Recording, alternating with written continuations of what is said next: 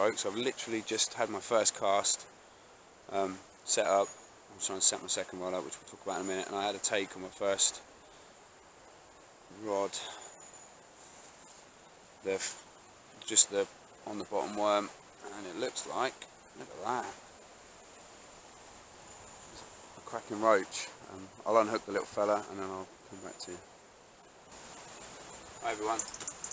Uh, you catch up with me today fishing Horstead Mill. Fancy something a little bit different today, so I'm doing some freshwater fishing. You normally see me on the beach doing the sea fishing. Today I'm going to give something else a go. I've literally been here half an hour. Um, I'm fishing two rods today, one with just garden worms, which I've got my niece to dig for me, and then the other one I've got some bits out of the freezer, some, sea dead baits, I'm going to try for a, you know, some pike or something with. I've literally just cast out and the rod went straight away, wasn't prepared, as you always aren't.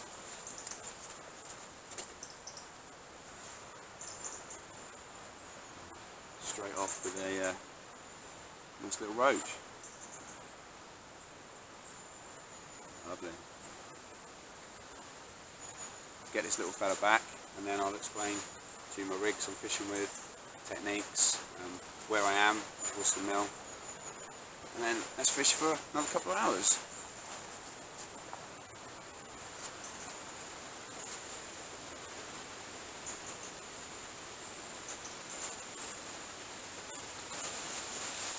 To the session there. So with the rod I just caught the, the roach on, this is the setup I'm using.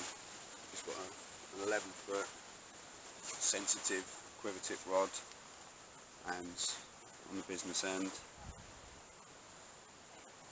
it's just a bog standard Dendrobaena garden worm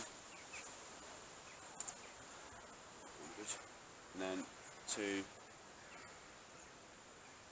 BB shot about a foot and a half away from the, the hook which is a size 10 hook.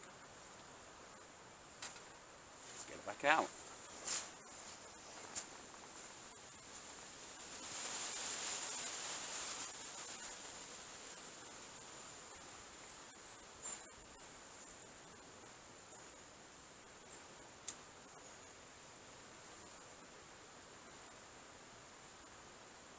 We're forecast really heavy rain today. Um, I'll show you in a minute my little setup. I've got my, my brolly, got my Vu, of course I have. Um, so the, I've finally set up the, the second rod now um, with the a bit bigger ledger setup. So there's a half pound, half ounce, ounce, big weird? A half ounce um, Arlesey bomb, and then I've got a bit of bluey on the ends. So this is just the, the chance it rod, hopefully. Um, I've got a couple of mini blueies left out of the freezer from a, sea fishing trip. Just going to see what's about, really. I've already had my, my roach first thing, so I'm more than happy with that.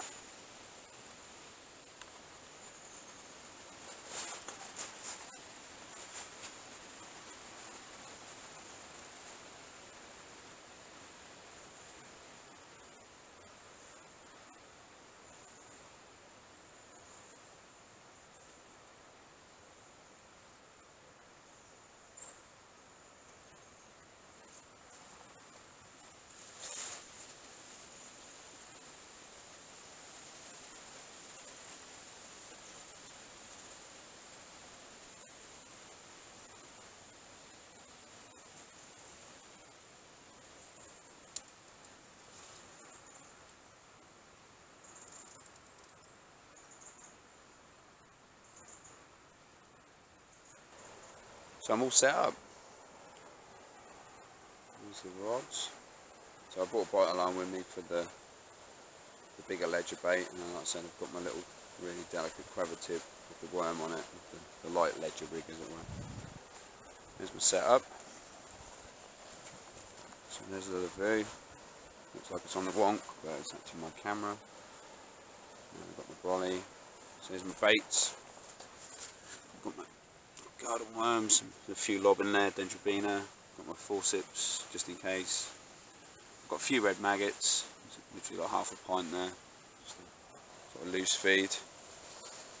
So the the bigger bait, is under the tree, so there's a fallen tree there, and the smaller bait, that worm, is sort of in the middle, but it can, can move around quite freely. I have got quite a lot of current here, can see from the mill. It's, it's not fast here, but you get the odd leaf or twig will get caught on the line, just pull it. Over there, there's a sort of inlet to another, sort of like a, like a drainage system. Um, so fishing the Norfolk Broads, basically the, the, Norfolk Broads is one big drainage sort of system, but this is an actual river, the River Bure. So that's Horstead Mill, an old mill, which we'll talk about later, show you a bit more. Go up there and have a look.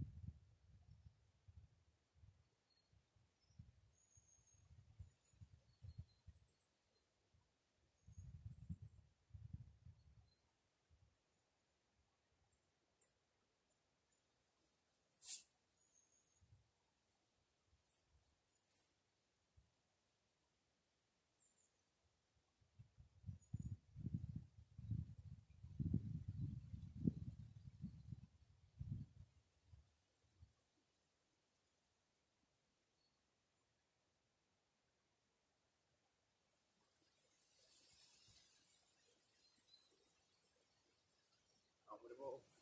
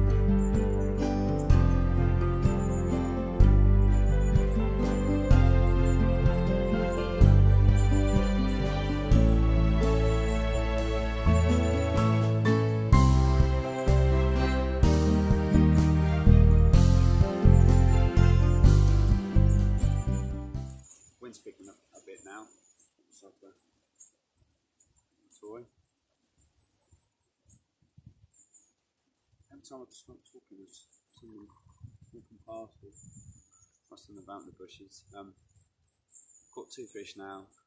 Hopefully, I've got enough footage. Well, my GoPro died, the bigger camera died. Not having good fun with my cameras today, so I'm back on my phone. I said in the early on in the video that I'll show you some of the course the mill, the mill system. So here it is, a little walk around. Probably going to use my GoPro if it's got enough battery in it, and as I've got the hard case on it, it hasn't got a microphone, so you might not hear me talking. Um, if I am talking, I'm probably going back to my phone. So enjoy. Just thought I'd show you the comparison of Horstead Mill compared to the photo in the 1950s and then compared to what it looks like today. So as, I don't know if you read on that board, um, it was basically operating until 1963 when the whole mill was literally burnt down. So all you can see now is just brickwork pretty much and brick ruins because obviously on the picture here it's all wood. Um, so that's the mill in the 1950s and that's the mill today. Amazing.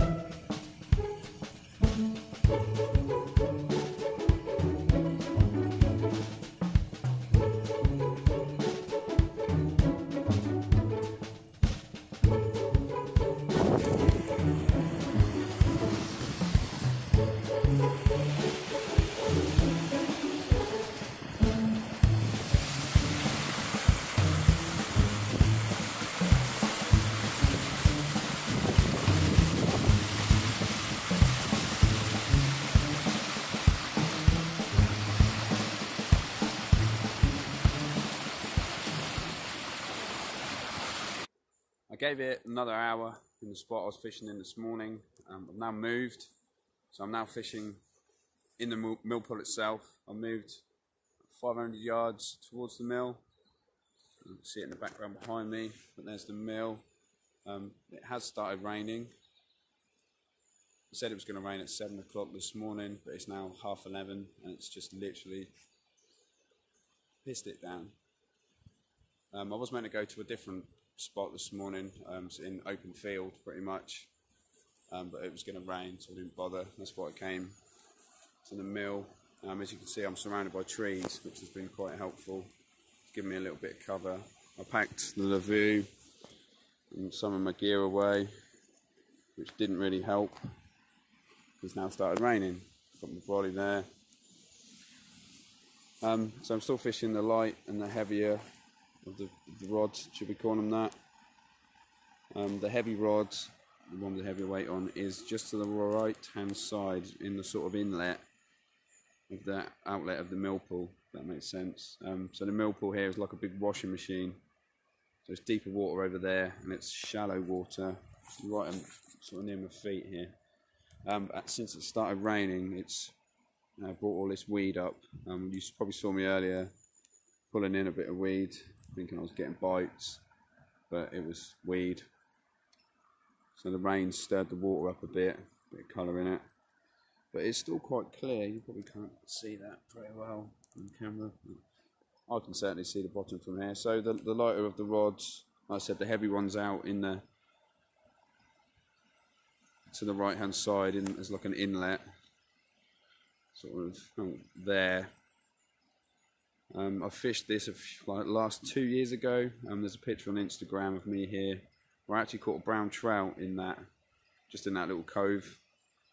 So I hope for another one today, unless it absolutely pisses it down more, and then I'll be off home.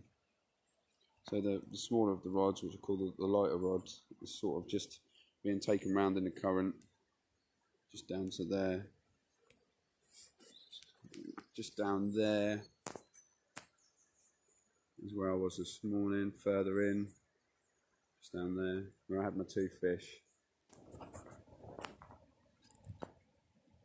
Just before I put my rod, uh, my phone down, um, I had a little tap on this, uh, my lighter rod of the two. Um, I was struggling with weed a bit, but it's uh, certainly not weed. Uh, let's get it in and I'll Join me again in a sec.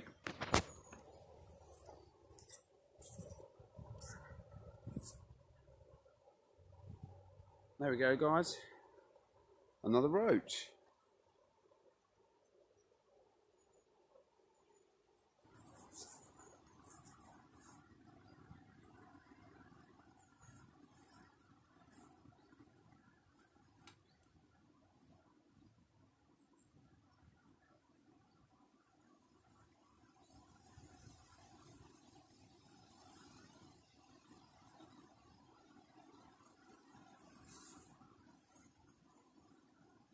Another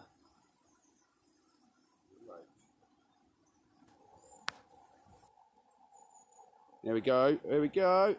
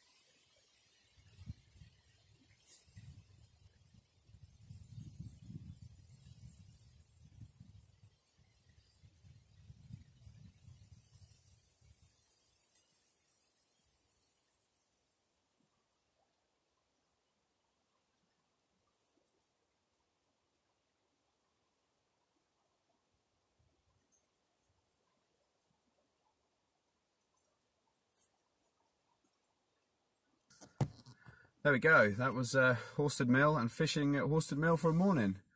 Um, it's now one o'clock. I've all packed up. Obviously, I'm back in the car. I had a bit of rain, so I didn't really want to um, stay out in it really. I'm off to get a haircut. Um, thanks very much for watching, and I'll see you guys again soon.